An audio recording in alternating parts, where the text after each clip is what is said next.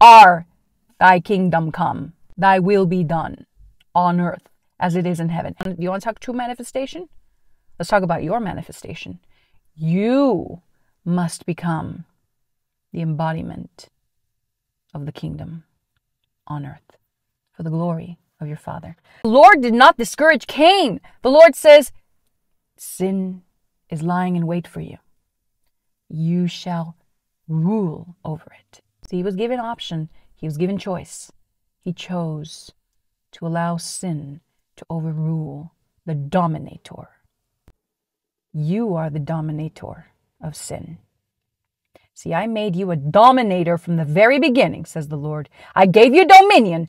You can't just say that Jesus is the dominator because once Jesus says it is finished on the cross, you have the dominion once more. You are a dominator by nature. I want you to say it. I want you to start affirming it. I am a dominator by nature. It is my nature to dominate. So no, there is no victimization here. Oh, we live in a world and in a culture that loves to victimize itself. Oh, blame it on the man. Blame it on the white man. Blame it on the other man. Oh, it's always blaming the man. That's, that's school children stuff. See, you'll never come out of it, says the Lord, if you keep blaming everybody else. You got to start looking within yourself.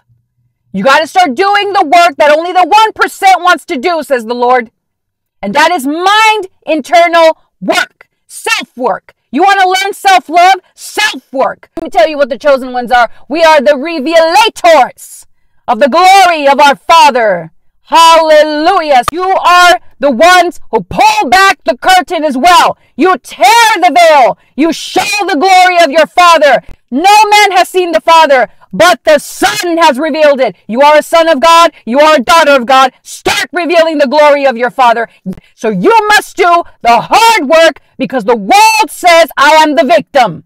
You are not the victim, says the Lord. You are the dominator. Some of those Christians are really focused on aliens. They're, you go notice that. They're focused on the fallen angels, on the, on the fallen ones. They're focused on the book of Enoch. They're focused on the mark of the beast. They're focused on microchips. Focus on the mark of the living God, says the Lord. Speaks, dominate now because the beast, it's rising. But let me tell you, another beast is rising and it is the chosen ones. We are the beast. 777 is the number. Think about studying uh, Jeffrey Dahmer's brain, uh, Einstein's brain, the chosen one's brain. Oh, those brains have nothing on the chosen one's brain. See, this is the power of the chosen one. They don't know what to do with you. Well, this is before your transformation. Wait until you come out of this process. They won't know what to do with you then.